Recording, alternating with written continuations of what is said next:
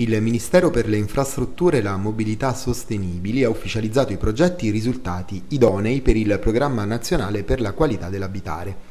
Ai 400 milioni di euro inizialmente disponibili si aggiungono i 2,8 miliardi del Fondo complementare al Piano Nazionale di Ripresa e Resilienza. Tra le oltre 270 proposte, presentate da comuni, regioni e città metropolitane ammesse al finanziamento, c'è anche quella presentata dall'amministrazione di Campobasso, denominata Cantiere della Transizione, risultata finanziabile con 15 milioni di euro. Il progetto presentato dal capoluogo molisano si è classificato al sessantesimo posto nella graduatoria stilata dall'Alta Commissione del MIMS per un finanziamento complessivo di 3,2 miliardi di euro.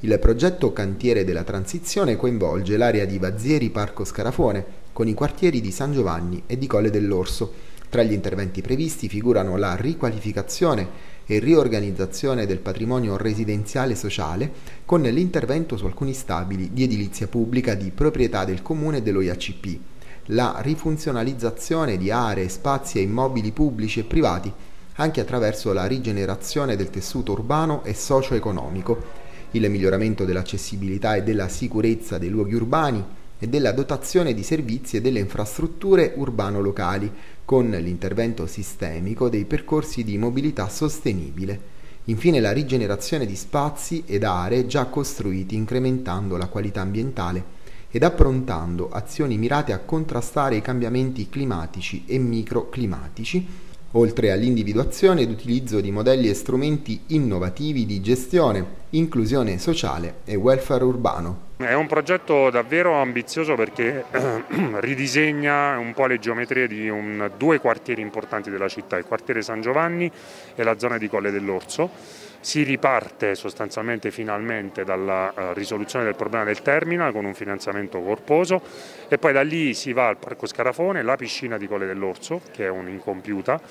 una riqualificazione totale di tutti gli immobili di proprietà del comune, quindi alloggi di edilizia residenziale e sociale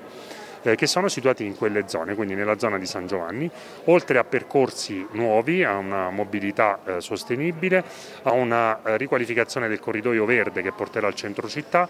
eh, e tanto altro compresi aspetti legati alla cultura, al credo, la ristrutturazione della cripta del convento di San Giovanni Battista, la biblioteca,